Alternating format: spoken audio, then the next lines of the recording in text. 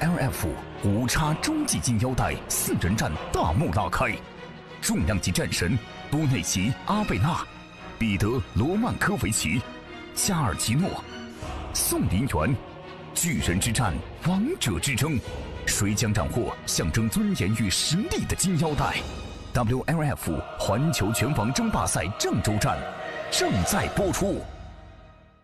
稍后登场的是一百公斤以上级别多内奇·阿贝纳对彼得·罗曼科维奇，一百公斤以上级别宋林元对加尔奇诺，六十五公斤级苗威对克提差，六十八公斤级杨卓对和气光春，武林风精彩继续。展现中国力量，弘扬民族精神，传播中华文化。观众朋友们，大家好，这里是河南电视台八号演播厅，河南卫视正在为您奉献武林风环球拳王争霸赛郑州站的比赛。在这里呢，还要报告电视机前所有观众朋友们一个好消息：新年伊始，我们河南卫视将向您倾情奉献。搏击狂欢周末，也就是一月十三号和十四号，星期五、星期六两天时间。在星期五的时间，一月十三号将为您奉献的是武林隆中队年终总决赛，届时呢将会产生二零一六年度呃各个级别的金腰带。一月十四号从晚上七点半开始，我们将向您现场直播 WLF 全球功夫盛典，届时武僧一龙、死神方便。将携手出战，我们的票务咨询热线呢也已经开通了，零三七幺六零六个幺。接下来将要为您呈现的是一场 WLF 一百公斤以上级的洲际金腰带四人战的第一场比赛。首先为大家请出的是蓝方选手，今年二十六岁，身高一米九五，IFMA 世界冠军，战绩四十五胜十五负。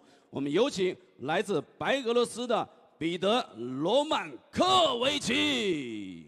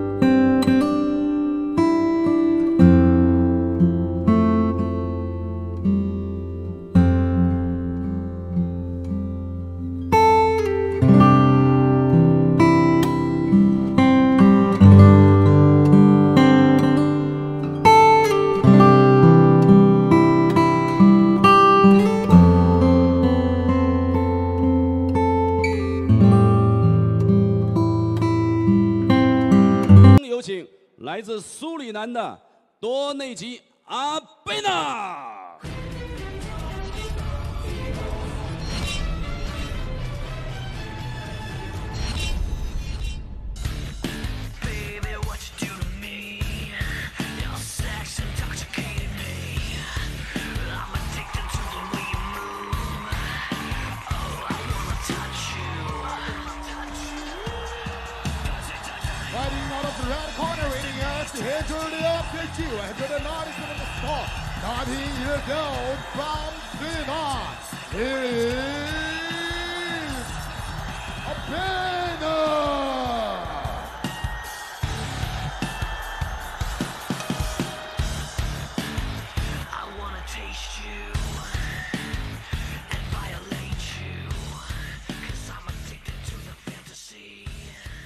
场上裁判张铁刚，比赛现在开始。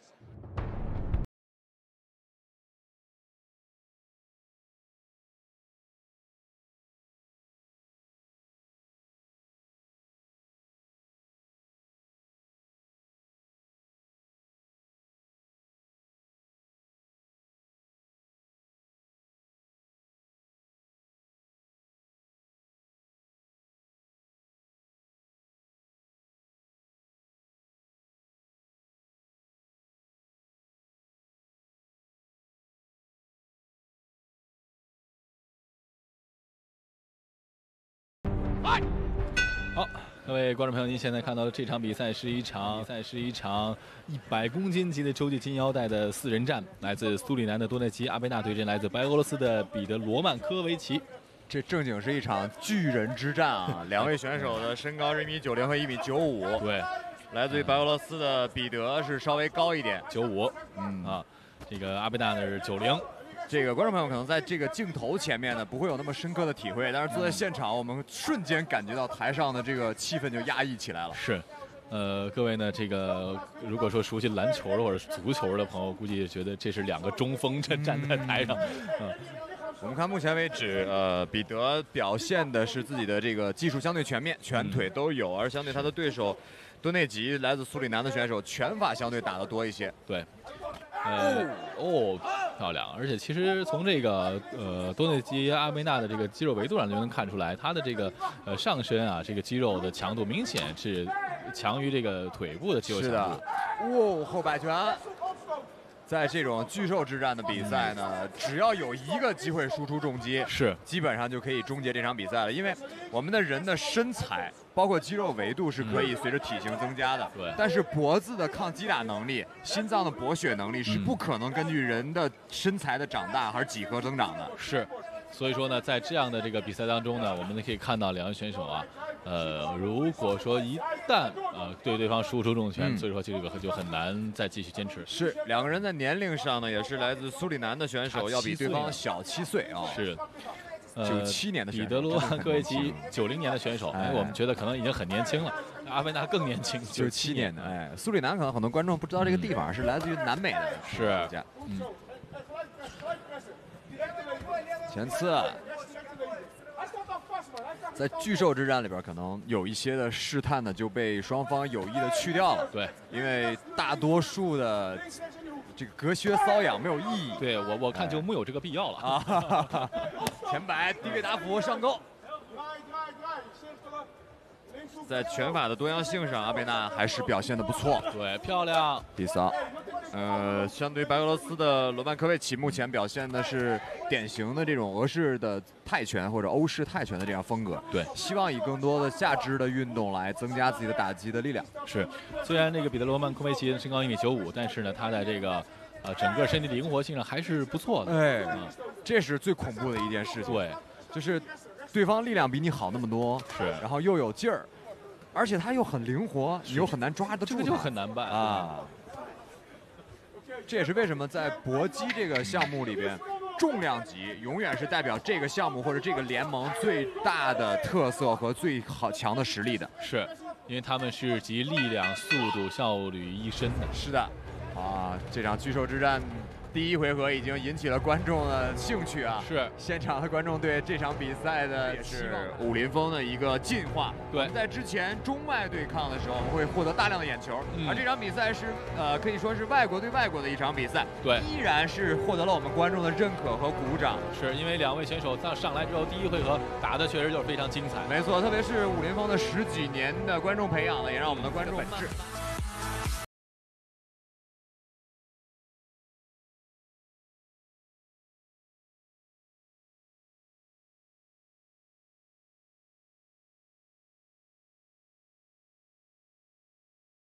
第二回合，张立刚老师让两个人站的稍微恐怖啊。前刺，对方缓了一后摆，低扫，低扫，哦，头一回见他苏里南的选手出腿啊，是。后摆，摇臂，垫步的顶膝，这专门克摇臂型的选手的是。这个方式。应该说呢，彼得罗曼科维奇，哇，左手摆拳，后手刺拳。其实，呃，罗曼科维奇的拳法还是不错的，对但自己不太想要这个连续的用拳法来进攻。是因为每个选手可能有自己的习惯性的方式和节奏，对但是其实我感觉这个罗曼科维奇他的这个变化呢还是有的。呃，刚才呢这个阿维纳在这个摇臂的时候呢，马上就跟着就是后面的这个垫步顶膝。，对，呃，应该说呢兵来将挡啊，感觉他在战术上还是有变化。让你控不进来。对哎，摇臂型的选手都是用自己的身法的迷惑对方，然后进到内围以后用这个重拳来施以打击。特别是在第一回合，我们可以看到阿贝纳来自苏里南的这个选手，这个低位的打斧啊也是非常的强悍的。是，所以有机会的话，希望观众朋友们能有机会来到现场来看比赛。对啊，虽然现场没有我们的解说，但现场真的可以体会到这种这个一百公斤的选手的压迫能力。这个是属于你看二 D 和看三 D 的感觉。哎，没错，滕晓老师总结的好。所以说呢，各位也可以来这个关注一下，在二零一七年的元月十三号和十四号连续两天搏击狂欢盛宴的，期待着各位到现场来支持我们的武林龙中队的年终总决赛和我们武林风的 WF 全球功夫盛典。啊，全球功夫盛典已经办了好多期，是肯定我们的武林风的忠实粉丝会哦，后手拳，又一次哦，漂亮，读秒了五秒了，看会不会能不能坚持。啊，罗曼科维奇马上恢复过来了。但我相信不会那么容易的，因为他是先被重击了一次没有倒，又被重击一次才倒的。实际上是两次的叠加，没错呃，产生了这次的效果。是的，漂亮，又一次有了，又一次有了。像罗曼科维奇想打反击，这也是选手有经验的表现。这个时候如果他防，会被对方打得更惨。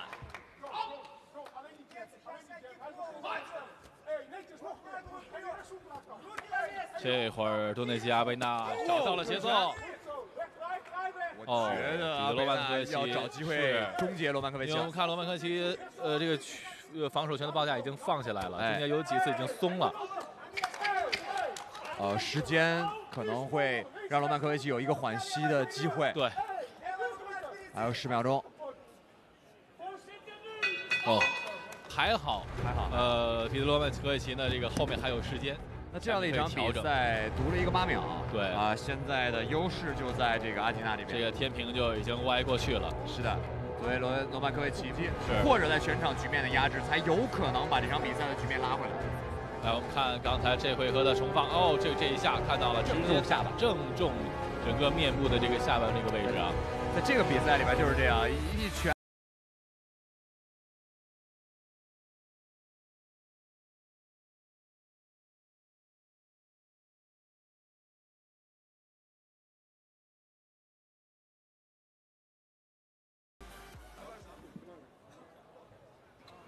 第三回合了，我们看看这一回合当中，彼得罗曼科维奇呢，是不是要这个为自己呢扳回一局？哦，彼得哦罗曼科维奇这个时候就需要放开自己的包袱了。对啊，已经被毒了强巴，是自己如果不猛冲的话，是不太容易赢的。平膝、扫踢、上勾、平勾、低扫，哦，确实像王一博老师说到的，确实上来之后，确实是猛冲猛打。后手的击斧。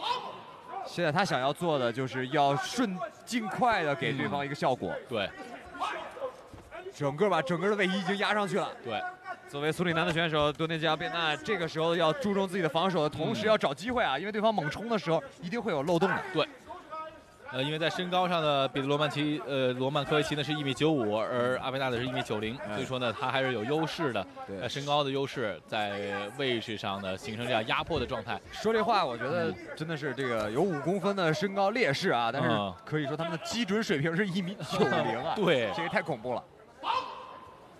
站在他们身边的是正常身高的张铁刚老师，我们再次重申，正常身高，没错。确实，两位选手的这个呃身体块头哦确实很变线踢大呀我们在这个铁刚老师上去之前呢，我们还说，嗯这么大的两个选手，铁刚老师怎么分开呢？啊，我们旁边的裁判团队老师给我们解释是啊，铁刚老师的质量密度比较好。靠的是裁判执法的权威，哎，没错啊，罗兰科维奇的体能下来了。嗯刚才的一轮猛冲以后确实很耗体力啊。是变一个线，低扫，砍一下意义不大了。在第三回合连续打击，对方一个摇臂，上高斜上高平高，啊，应该说我能看出来，这个彼得罗曼科维奇体能消耗是很大的，呃，在防守明白的报价上有时候都有一些松散了。跳膝，这个时候再做跳膝，呃，意义不大。低扫包括跳膝这种累积性的伤害，是，不太容易造成瞬间的杀伤。嗯，你看杜内基阿贝纳确实看起来还很轻松，哎啊，整个的体能表现很好，眼神也很稳定。大佛，后手低扫。我们看到，呃，苏里南的这位选手，除了他们本国的选手跟呃本国教练跟着以外，还有一位荷兰的教练也跟在旁边。来自于波基王国的荷兰，目前看起来，就是这位选手的拳法是高精于自己的腿法。对，因为从整个的比赛中呢，很少见他使用腿法的进攻。在这场比赛中，我们可以看到，呃，多内基阿维纳拿到了一个强八，如果不出意外的话，他会拿到这场比赛的优胜。呃，而罗曼科维奇在这场比赛的表现啊，整体性非常的不错，啊，缺乏的有一次失误给对方呢占到了一个大便宜。我们来看一下比赛的慢放，低位打斧，看起来这些拳都是轻飘飘的，是或者说没有那么大的力量，但实际上，呃，这个得益于两位选手的这个优秀的训练的基础。对，攻高防也高的选手。哎，没错。结果，一号裁判二十九比二十七，二号裁判二十九比二十七，三号裁判二十九比二十七。比赛结果，红方胜。The winner corner. 祝贺红方。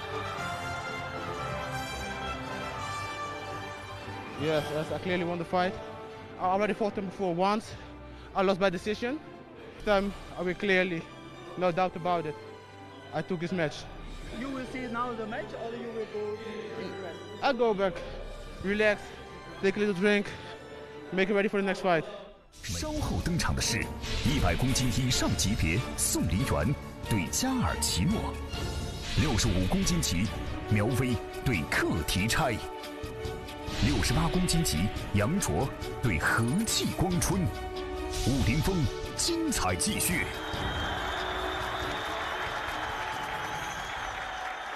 观众朋友，大家好，这里是河南电视台八号演播厅，河南卫视正在为您奉献武林风环球拳王争霸赛郑州站的比赛。接下来将为您呈现的是一场 WLF 一百以上公斤级洲际金腰带四人战的第二场比赛。首先为大家请出的是蓝方选手，今年二十八岁，身高一米八八，战绩十六胜四负。有请来自苏里南的加尔奇诺。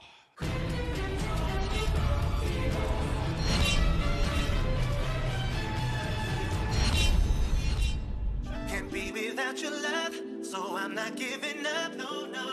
Introducing first, fighting out of the blue corner, waiting as the 150 108 centimeters tall, 28 years old, from Sweden, 60 wins and 4 losses. I give you, Gary Zeno!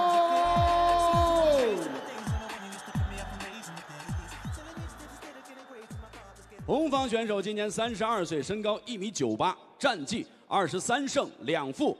掌声有请来自中国的宋林元。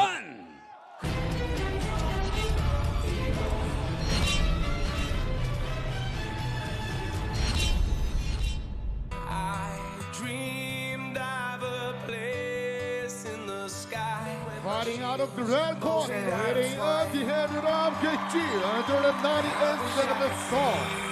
33 years old, from People Republic of China. Seven wins, two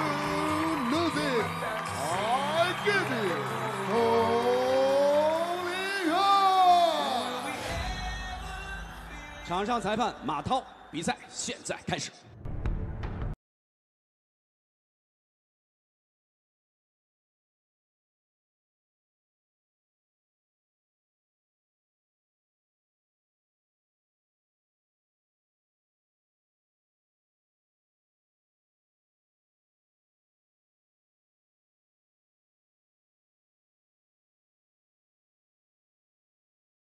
观众朋友，您现在看到的这场比赛是 WF 一百公斤级以上的洲际金腰带的四人战。这场比赛，中国选手宋林元对阵来自苏里南的加尔奇诺。那刚才的四人战的第一战呢，多内基阿贝纳来自苏里南的选手已经拿下了比赛。是那这一场他的同胞啊，加尔奇诺，看能不能战胜中国的选手，而这也是我们一百公斤级里边唯一的一个中国籍的选手。是啊，呃，两位选手呢，这个真是这个，呃，应该用肩宽背后、绑架腰圆来形容啊，这个真的是上来以后是压迫感非常的强。对。但是两个选手年龄，一个是八四年的，一个是八八年的，这个看我们的身身体的这个素质的分配和体能分配。嗯，呃，尤其是加尔奇诺啊，看起来呢，这这实在是不像个八零后，但是他其实是八八年的选手啊。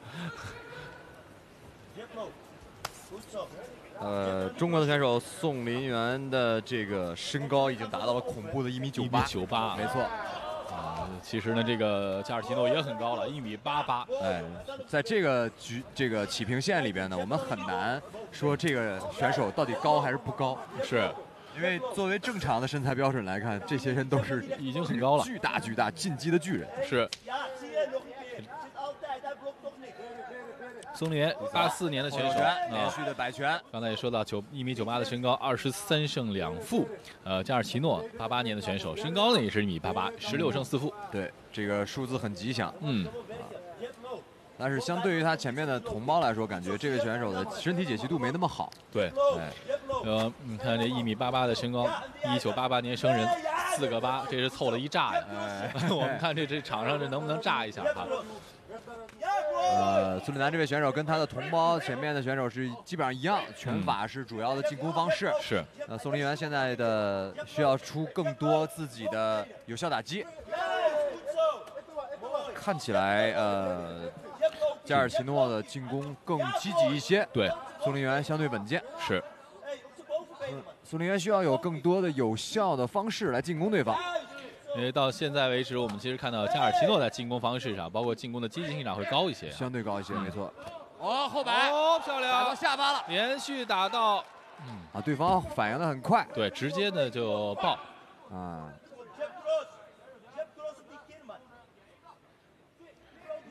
我真希望现在我不是在解说台上，而是站在对方教练的身后，这样我可以告诉我们的选手他要打啥。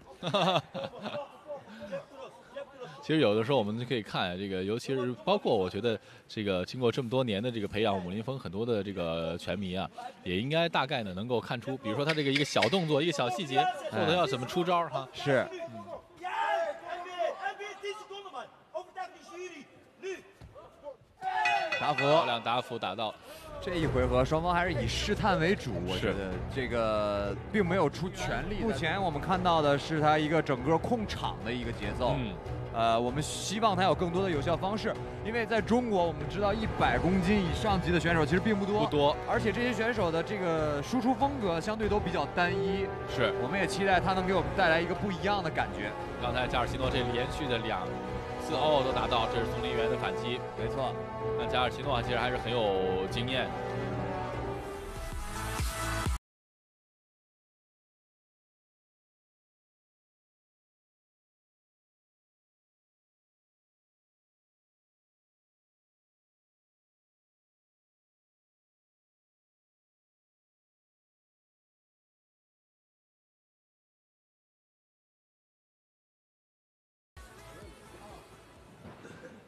比赛比较有意思的地方就是苏里南这边的边角团队，嗯，维度很大，是中国边角团队维度更大。我们看到台下啊，苏林元有一些趔趄，这个千万不要被对手能抓到这样的一个的对攻当，加尔奇诺的表现不错，是。因为我是个人感觉加尔奇诺他的这个速度会更快一些，哎，所以说呢，丛林员要小心。呃，虽然稳，但是呢，其实呃另一方面呢，呃变成了如果变成了慢，这个事儿就不好办了。哎，特别加尔奇诺目前的这个爆发力，我们看也是非常恐怖的。是.啊，我们的马涛老师警告了宋林元，你不能总搂。对 kick. 我们刚才回到刚才的话题啊，宋林元下面的边角全是跟他身材类似的大汉。这场比赛我经常会脑补，如果一百公斤打出火花，双方边角发怒了，会是一个怎么样的情景？那是那将是一场巨人之战。那场比赛会嗯 正确的看到我们的擂台的局限性，是个头实在太小了。哦，要出手后摆，哦，漂亮。宋林元以刚才呢，我前偷偷偷的瞄了一下这个这个加尔奇诺呀，这个我如果站在他身后的话呢，他的这个整个身体的宽度是我是我的两倍。就是 合腰抱不住的感觉。对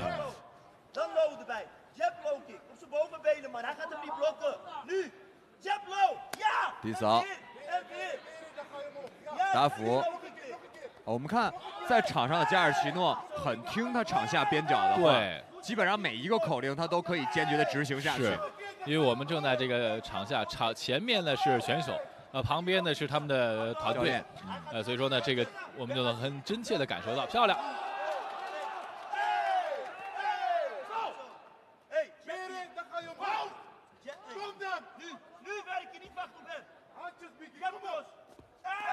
连续的刺拳。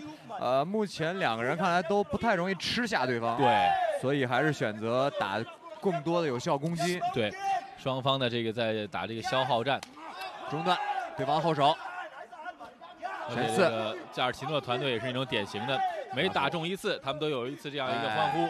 一方面呢，给自己的运动员鼓劲儿；一方面呢，也可以用这样的方式影响裁判。对，提醒裁判，我我们打中了我们。又打到，了我们打到了，嗯。现在的宋林元需要的是更多的有效的进攻对不能退了只是一味的防御求稳的话这场比赛不太容易打了就。是。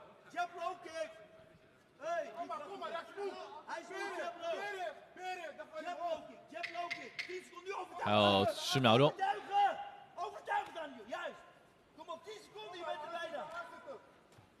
这场比赛现在的情况呃，有效打击数还是加尔奇诺要更多一些，高一些没错，要多一些。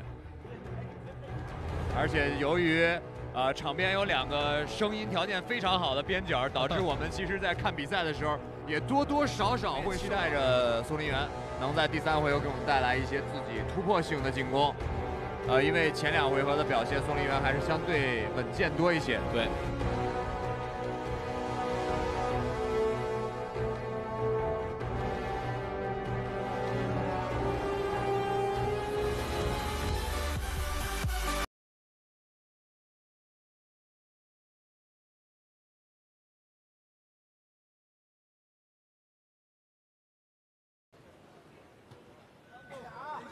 现在呢是第三回合的较量了。啊，这一回合宋林元面临的课题就是自己要增加自己的有效进攻。是，哇，后摆，哦，前后摆拳，哇，宋林元打到了对方的下巴。这场宋林元肌肉之战终于开了全马力。是，这个进攻的密度大了。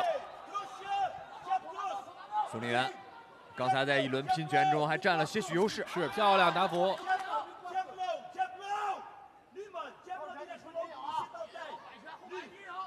那加尔奇诺想要采取怎么样的方式呢？刚才一开局的时候，他使用了这个正蹬.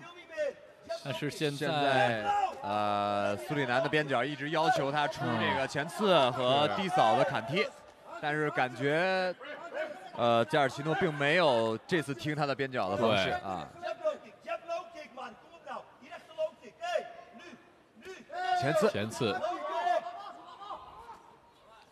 现在宋林元需要找到一个定点出打击的一个位置，找到。对方的反应很快，对，呃，所以说呢，这个对宋林元来说呢，有一个一个问题，就是他想要找到一个定点输出，但是对方呢肯定不给不会给你，嗯，所以说这样呢，你就得自己创造机会了。本来是把对方顶在这个边角上，对呃，对方利用马涛老师在让双方分开的瞬间的机会，把从里面绕出来，然后进行了对宋林元的输出，这个擂台的把控能力很好。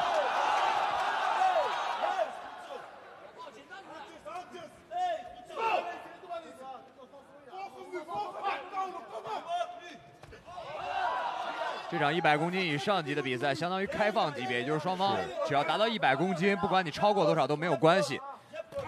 漂亮，哦，达福，击头，左手平勾，这刚才的这几回合呀、我们觉得这个擂台这个震动幅度啊，哎远远大于其他级别的擂台震动的幅度。Zijn benen. 前直后摆，低位打斧，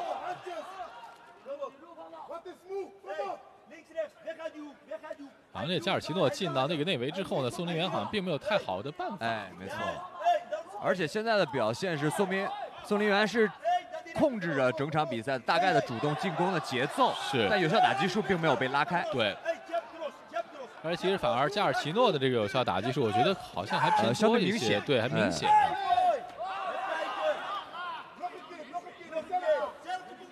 宋林元上来以后的那个进攻表现的非常不错，但是没有持续下去，对，感觉体能有一些后续的乏力。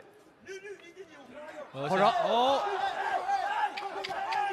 确实刚才这个这个回合很明显，呃，体能是缺失，刚才整个动作反应速率就慢了。这个我们都说过，大级别的选手的，由于心脏的搏血能力并没有呈几何倍数的增长，嗯，所以他们更容易疲劳。那这场比赛相对的表现的会更好一些。啊，宋丽媛在第二回合和第三回合要有一些劣势，对。好，这是看分慢放，是，呃，虽然逼对方到了绳角，但是呢，出拳并没有有效的控制住对方。这是宋林元的那这个左手平勾击中。对，我们来期待一下最后裁判团队的判罚。现在宣布比赛结果：比二十九，二号裁判二十八比二十九，三号裁判二十七比三十。比赛结果，蓝方胜。六个蓝方。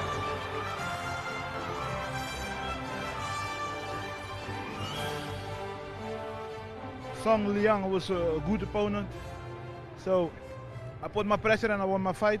So now I'm in the final with my own countryman. And of course I will do my 100% to get this belt, to win this tournament. Because I'm, I'm the best heavyweight in Suriname, the best heavyweight in South America. So I'm going to show the world who I am. I like this organization. I, uh, I want to thank them for the uh, big opportunity this time. So I'm going to do my best to win this tournament and come back next time. 稍后登场的是六十五公斤级苗威对克提差，一百公斤以上级别多内奇阿贝纳对加尔奇诺，六十八公斤级杨卓对和气光春，武林风精彩继续。观众朋友们，大家好，这里是河南电视台八号演播厅，您现在正在收看的是武林风环球拳王争霸赛郑州站的比赛。接下来将要为您呈现的是一场六十五公斤级的比赛。蓝方选手今年十九岁，身高一米七三，当前战绩三十二胜十五负。有请来自泰国的 KT 泰。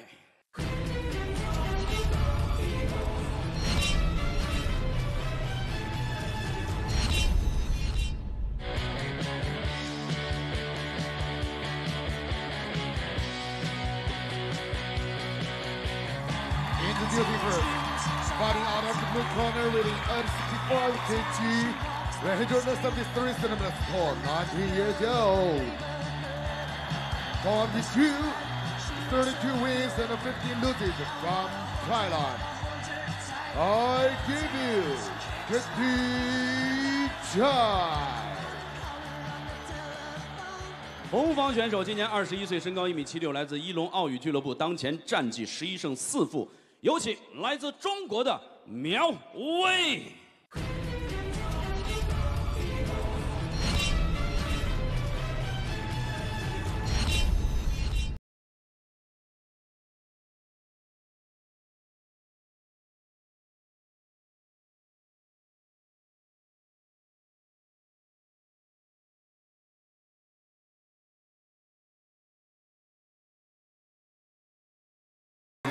centimeters tall. 22 years old, 11 wins and 4 losses. From People's Republic of China, here is Liu Wei. 场上裁判王心凌，比赛现在开始。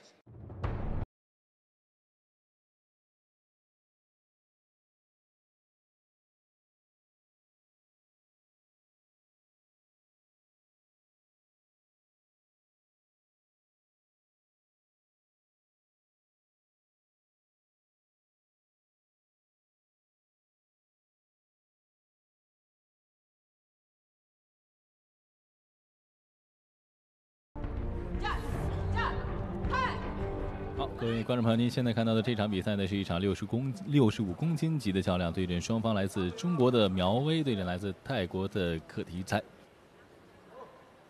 苗威呢是一龙奥羽的这一代选手里边的一个比较好的苗子，嗯呃，基本功非常的好，整个的打法动作基本功都不错。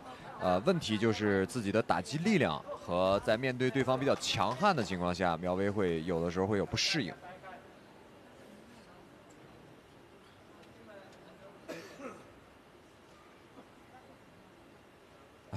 苗威刚才说对方的这个短裤啊太低了，后手拳塞到脸上了。苗威特别擅长于跟对方猜这个预动预判能力的这样的一场比赛。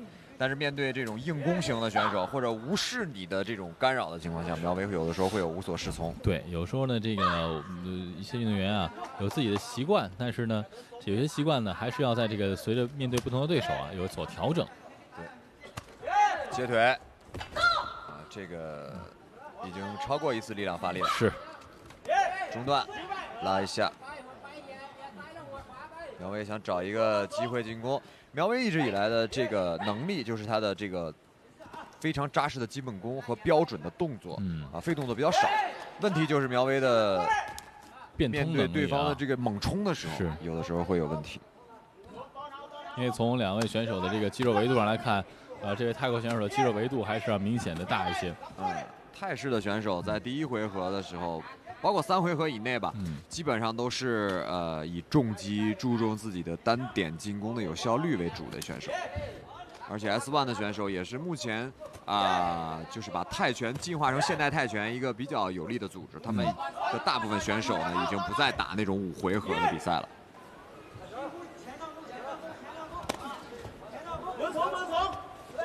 苗威在上一场的失利，我记得是在一龙波球二番战的时候，嗯，啊，面对的也是一位泰式的选手，就是因为无视他的这种干扰，对，啊，踢到了。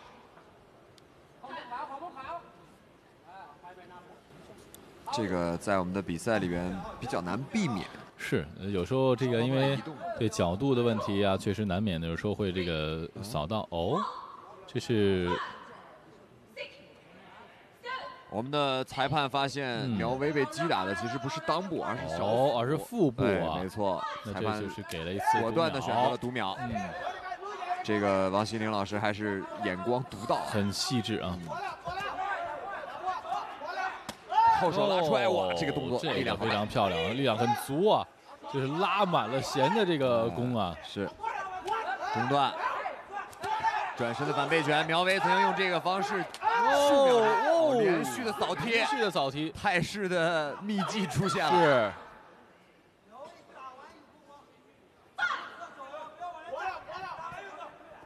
泰式的精髓就是他们的连续扫踢，是又踢到了又踢到了啊。后手拳。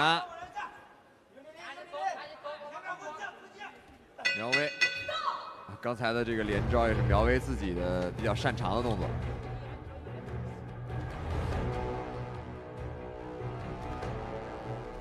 再来看第一回合的慢镜的回放，苗威的扫踢，高段的扫踢漂亮。跳踢。在第一回合呢，泰国的选手克提差的表现。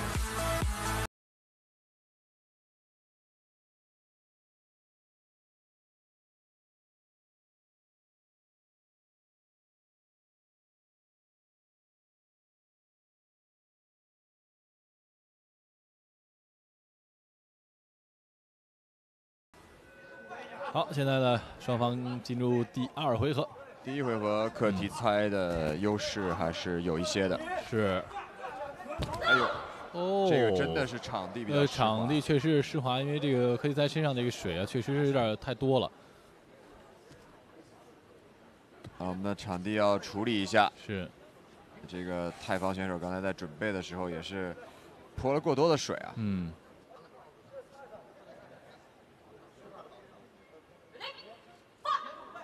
好，双方的比赛继续开始。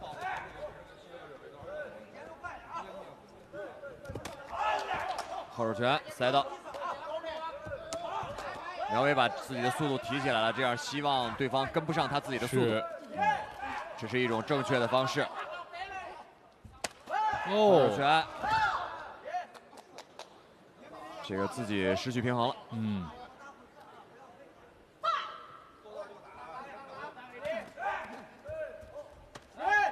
连续的快拳进攻。是苗威在提速啊，但是这个科技赛呢虽然慢，但是科技赛这个力量是非常足。对，高密度的进攻会让泰拳选手有的时候是无所适从的。是，呃，所以说现在对于这个苗威来说呢，提高密度、提高速度，中断。哇，左摆拳，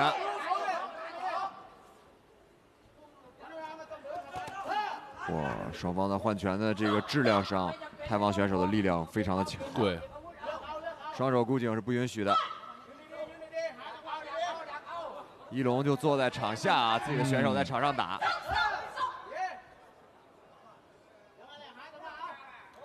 哦，苗威这会儿这个眼神啊，看起来不知道是这体力下降了，还是这个受到这个重击比较多，稍有一点儿散，没自信了，对。自己有点迷茫，不知道该怎么做。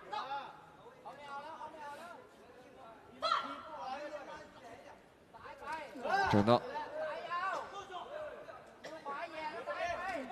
苗威，呃，其实苗威不应该选择过多的搂抱，嗯。自己的这个快攻应该是自己的优势。是，刚才其实就说提提高速度，对方的后手拳，这个在内围角力上，苗威似乎不占优，不占优势，嗯，因为我们看科迪猜的他的这个力量是非常足的，嗯，哎，高位的正蹬。刚才苗威的连续进攻，泰国选手后手拳，哇，高位的正蹬，顶膝。科提拆的这个力量和打击质量很好，嗯，是。应该说这也是一个技术很好的这个选手，后手拳很有实力啊，右手摆拳，对方顶膝，后手拳，有扫踢换拳，转动一下，后手拳还一个，到了，有了，对方做了一个摇臂，给了苗威一个右手拳。第二回合结束了，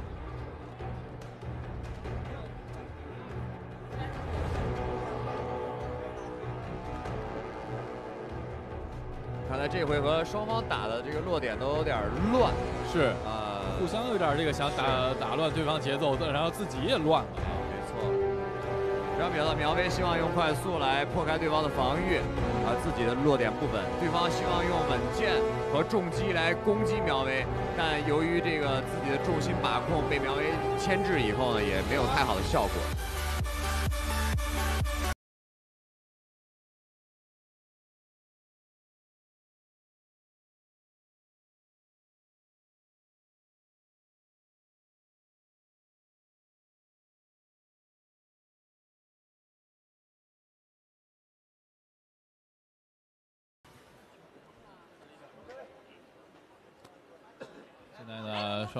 将会进行第三回合的较量。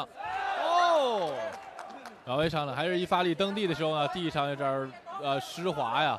呃，确实我们看这个呃泰国选手身上这个水啊，确实有点多。连续的右手的后直拳，提速对苗威这么打是对的。非常棒。哦，刚才对方的左膝啊，对，哇哦真有杀伤力哦。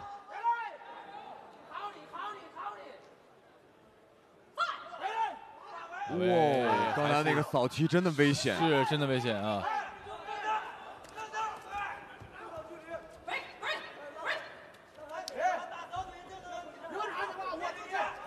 好喂，对，提速进去，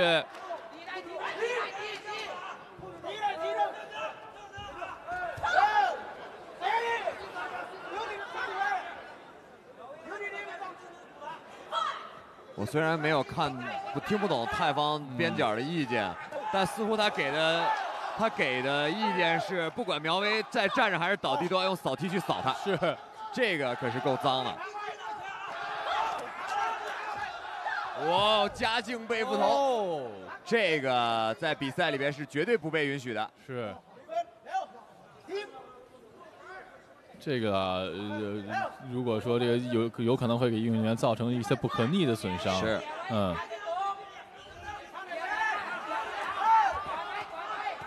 后手拳，中一拳，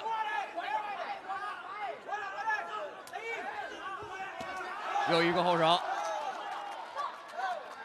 苗威现在基本上是在用自己的后手跟对方在对攻。是，啊，两手箍颈，警告两次了。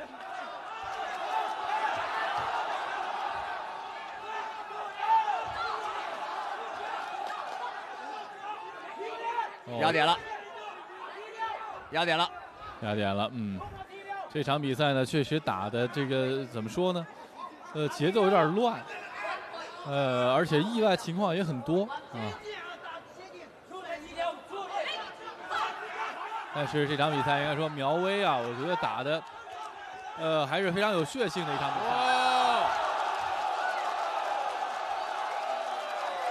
连续的进攻，这样的后手拳就把对方终于击倒了。我感觉应该是起不来了。是，玉龙现在表现的很兴奋，兴奋。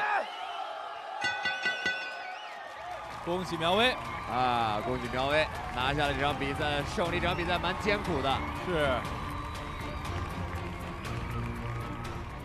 我们看比赛中，这个苗威最后连续的后手拳，终于给自己带来了明显的效果。连续两拳的叠加，第一下再来一次，第二下直接击倒对方。没错，找了一个很好的空当，连续的两次。现在宣布比赛对手，比赛结果：红方胜。有请武僧一龙为获胜方颁奖。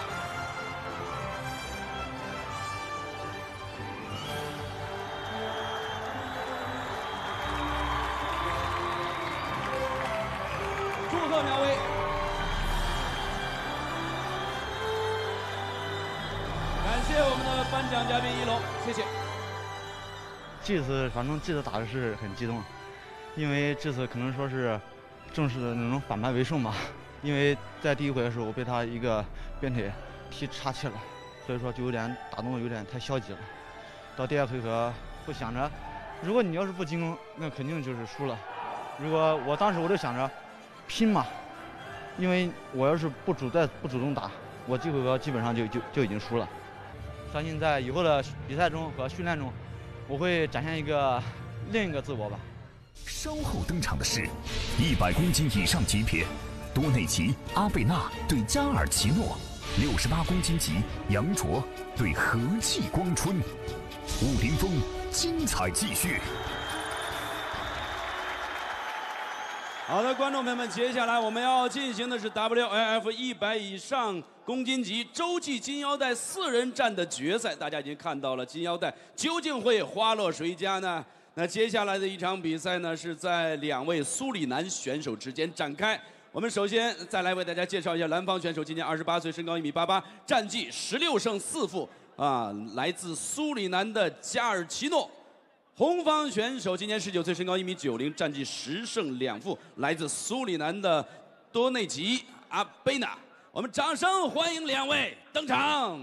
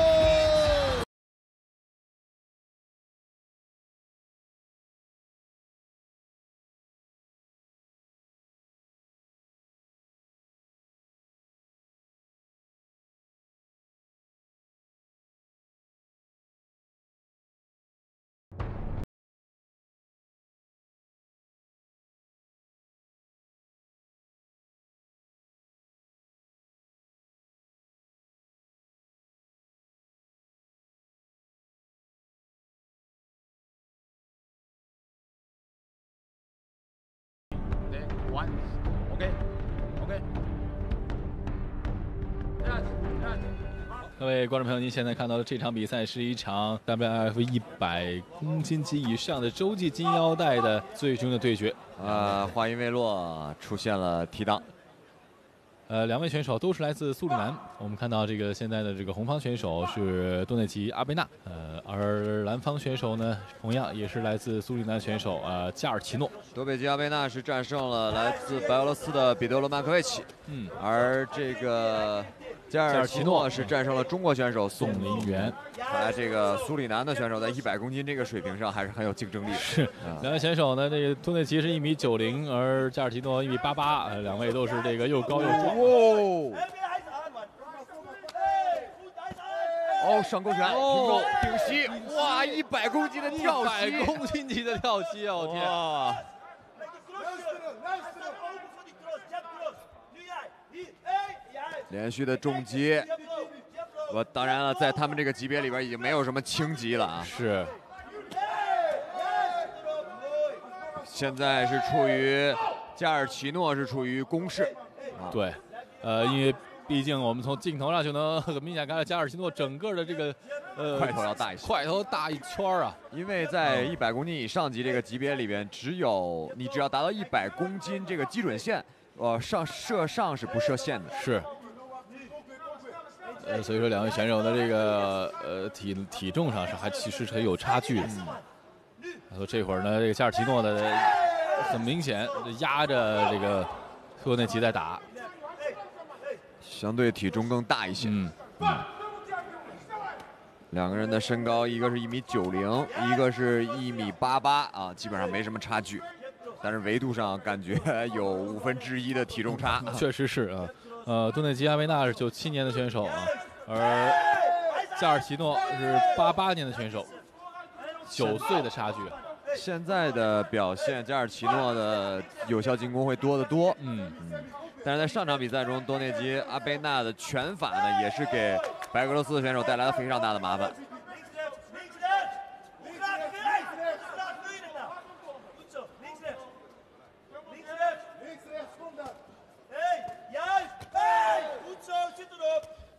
连续打击。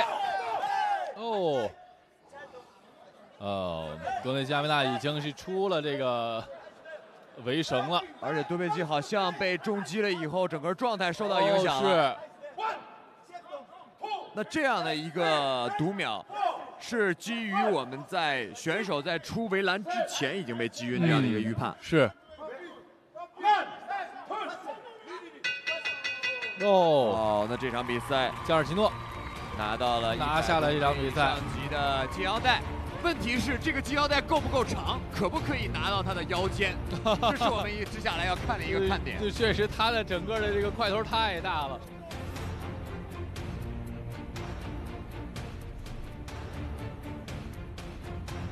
刚才那一拳的确很重，第二拳啊，的确是在在出去这个重击是在出围城之前已经击到了多内基。没错，这样的一场比赛，呃，加尔基诺啊代表苏里南拿下了 WF 洲际金腰带一百公斤以上级的这个腰带。现在宣布 PQ 比赛结果，蓝方胜。有请武林风创始人。中国竞技武术倡导者吴立新先生为获胜方颁发 WLF 洲际金腰带。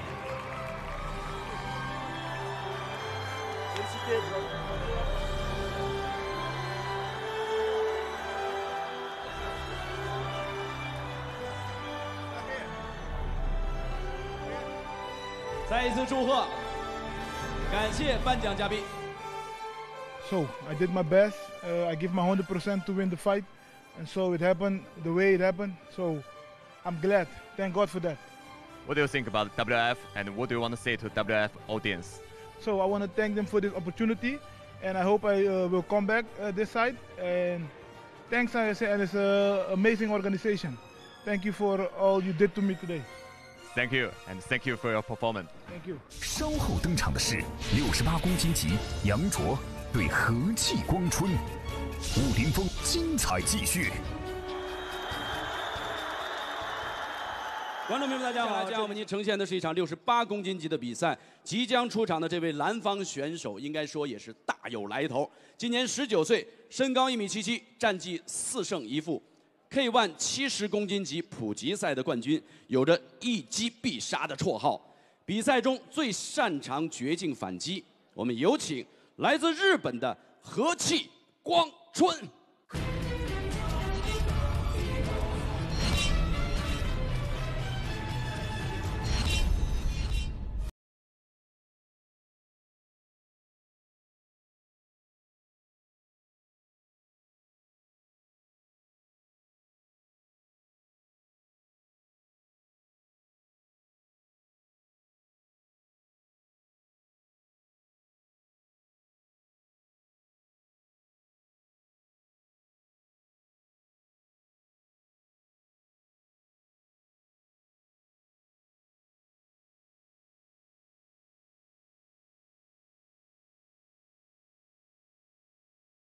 光春的红方选手，呃，以老辣著称，战绩显赫。今年二十七岁，身高一米七四，来自郑州顺远搏击俱乐部，WLF 六十七公斤级世界金腰带得主，WLF 六十七公斤级世界功夫王者，当前战绩二十二胜十二负。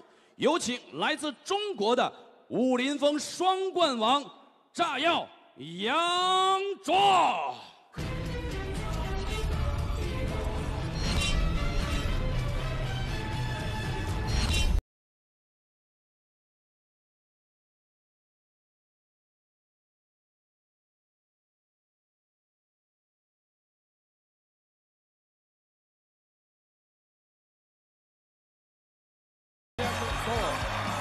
47 years old. 42 wins, 12 losses, 1 draw. I give you China Yang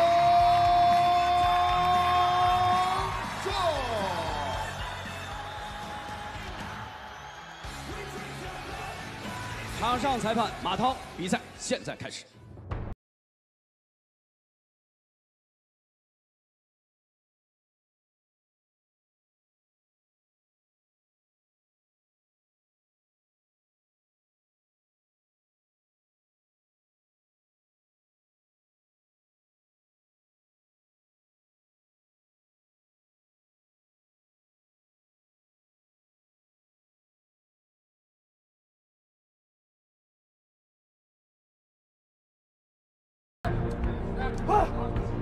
看到这场比赛是一场中日对抗赛，这场也是一场重头戏了。啊，杨卓目前 WF 的双冠王，啊，打法以老辣著称，而且是一直以来非常擅长打节奏控制和距离把控的一位选手。他的对手和气光春被称之为一击必杀啊，这位选手的重击能力非常的好，呃，而且在这个实际把控中打法比较硬。嗯。呃，就是两个人的对攻好快。呃，上一次的这个中日对抗赛当中，磨砂豆呢也是亲自来到现场，哎呃，但是呢，这个虽然他来到现场，也没有给呃科尔团队带来这个很好的这个士气的提振。上一次是惨败，也正是因为上一次的失败，导致了我们现在本次比赛的促成。哦，读秒了，读秒了，没有秒了啊，没有没有啊！马特老师重新看了一下对方的眼神，嗯发现没有问题，是，这就这个场上经验的一个把控问题。对，跳膝，后手拳，连续打击，杨卓想把这个打机会虎是要直接就直接终结对手吗？啊！这一轮的进攻嗯以这个顶膝为结束。是。刚才杨罗的这一轮进攻还是很有质量的。对。那杨卓现在还是在找机会。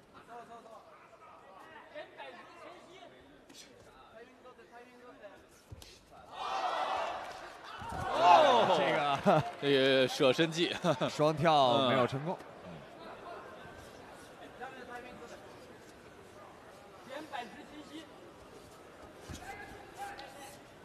杨卓的特点就是一直保持整场比赛的移动，对。除非他想把对方顶在一个固定的地方想输出，是，否则杨卓的这个移动一直在保持，这也是对方很难进攻他的一个原因。啊，确实从比赛开始啊，杨卓一直是在外围的这个来绕，呃，在找时机。啊，这个有挂到裆了。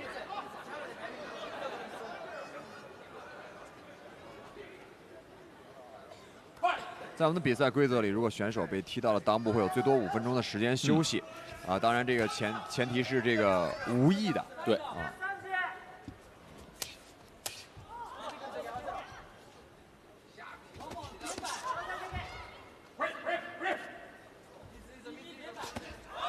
就很少去浪费自己的体能，特别是在近战的时候，我们看基本上是我只要打到这一下以后，我就不再会跟你继续进行角力或者缠斗了。是，呃，杨卓呢也是一个在这个场上啊，是是是有场上智商非常高的人。是的，呃，而且场下也是一个情商很高的人。没错。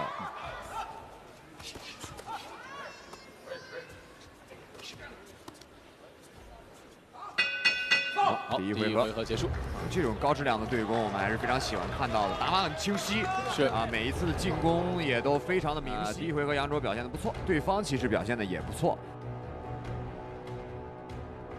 不过杨卓刚才在绳脚边上那一轮输出呢，可能会给自己带来不错的分数。哎，杨卓的连续的进攻，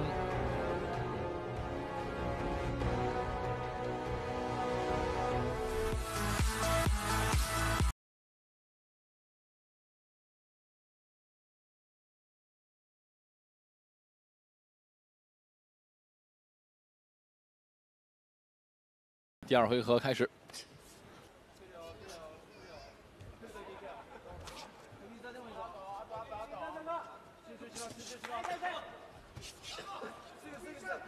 你看这场比赛，杨卓擅长的距离是中近和中距离。是，啊，杨卓又提到了。我们看一龙的表情，一个大写的心疼啊！哎，没错。这个有切肤之痛的感觉啊，有切身体验的一位选手，这个都都能理解。嗯，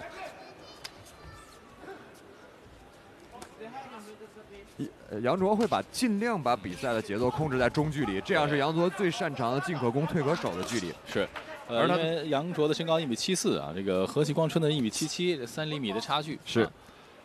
何其光春的这个后手拳是非常危险的，杨卓也要小心。所以我们看到现在为止，杨卓除非离开对方的攻击范围之内，否则左手啊始终是挂在这个脸侧的。对。杨卓的这个整个的步伐呀，这个动作还是很有迷惑性的。是的，杨卓的连击，好，对方打火，打破，两个人开始进入电话亭战术内围。呃，何继光春刚才也是顶住了杨卓，然后呢，这个找到空隙来打辅，还是有效的。嗯，杨卓是中国的这个自由搏击选手里边摇臂做的比较好的选手代表，上身的这个摇臂加上自己整个腰力的发挥，让他的这个拳法又增加了自己的力量，又增加了隐蔽性。杨卓也是我们的双冠王啊，WF 六十七公斤级世界级金腰带，WF 六十七公斤世界功夫王者。没错，呃，这个很多练过拳击的观众朋友都会有一个涉猎，就是嗯与其我去阻挡对方的拳法，不如我用摇臂躲开，这个时候我还可以用手去打你，而不用去站手。是，呃，这样的话呢，其实是一个一举两得的这个方式。是，但是这个说起来容易啊，呃，做起来非难常呐。这个上升到技术层面，就是你需要了解对方的行为模式，嗯这个就非常麻烦了。对，哇！对方的这个刚才右手拳击中了杨卓，杨卓把整个的报价抱回来了，顶膝，啊，杨卓手套挡住了，挡住了，上钩，推开。杨卓子把手回到下巴的时候，就是预判对方不会出腿这样的一个进攻，而且自己要打近距离的时候。是，所以说呢，这个每个选手呢，有时候有自己的这个习惯性的这个动作，是，呃，我们熟悉了之后呢，哎，就能够这个把控。嗯，就像这个大家熟悉这个，呃，赌神啊，这个当中有一个细节，这个周润发有一个转戒指这个小细节，杨卓击倒了，哦击倒了，哇哦！但是这个比赛的时间马上就到了，对，所以杨卓这个时候给了对方一次强制性读八秒的时间，对方会被扣分。对但是在同一回合，哦必须要有三次读秒才能被终结比赛。是，刚才的这个连续的击打读秒呢，就是杨卓把对方顶在角落里进行近战输出，左右的防守呢，是我们可能学习搏击学到第一个防御方式，就是是传说中的爆头。对，很难。呃根据来我们看，刚才左手上钩，又一次，对，直接左手上钩打到，啊最后右手的平勾终结。是，看，右手平勾，好，下面还掏了一下，下头还啊还有一拳，等于是一个连续的很隐叠加，蔽，没错。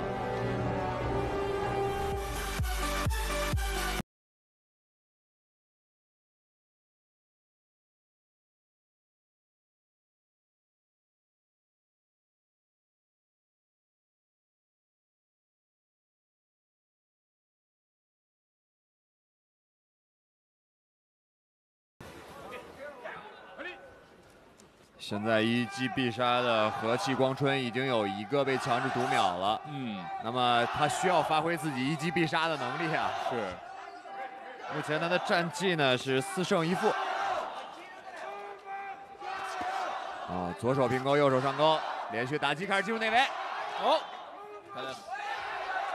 对方扫踢想把大拇手打开，杨卓现在非常希望选择这种中近距离，啊，往后退了。对方的一个平勾拳击中了杨卓，但是蹭到脸上了。杨卓表现的还是非常自信啊。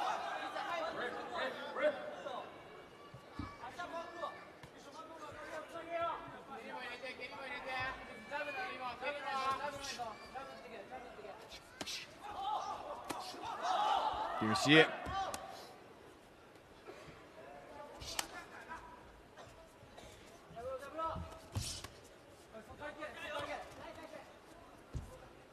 在这场比赛里，我们也可以看到日本选手的这种精神啊。是，呃，这时候面对一般面对双冠王的时候，都会啊漂亮二踢，哦，双飞踢，就是很多日本选手都给我们留下了这种印象，哎就是这个韧劲儿十足韧劲儿啊十足啊。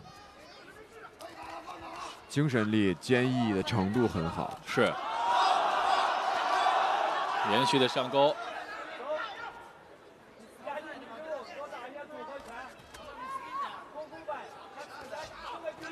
上勾啊，踢一下腿，想破一下平衡，中断。杨卓在找机会，后手拳。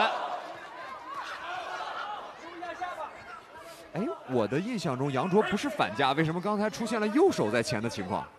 啊，又换回来，换回来了啊。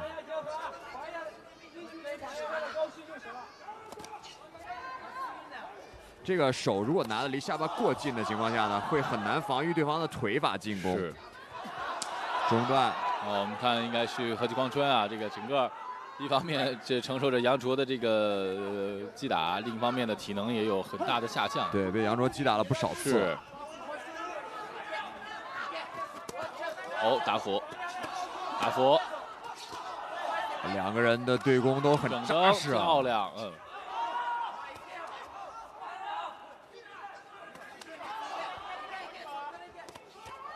后手拳，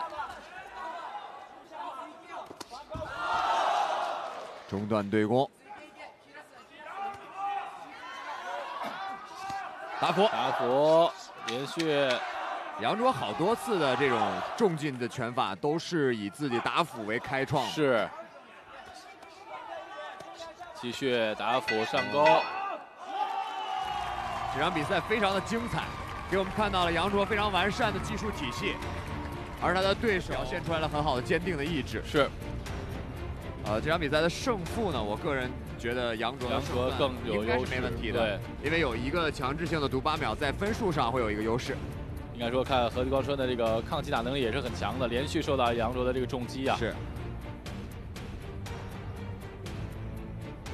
现在宣布比赛结果：一号裁判，二号裁判，三十比二十六；三号裁判，三十比二十六。比赛结果，红方胜。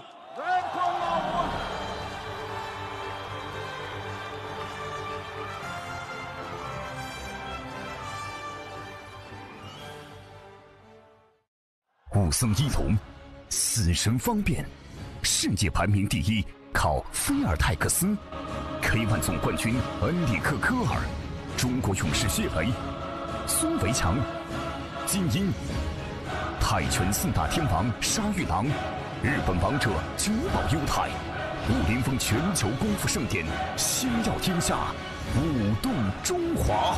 一月十四日，十九点三十五分，世界搏击殿堂中美巅峰对决，武林风决战拉斯维加斯第八季，兄弟同心，其利断金，香港功夫兄弟强强联合，携手出战。老劳模孙维强，新人王王鹏飞，构筑英雄联盟，一支特殊的中国战队，一场尊严与荣誉的浴血之战。二零一七年元月七号，美国决战拉斯维加斯，震撼上演。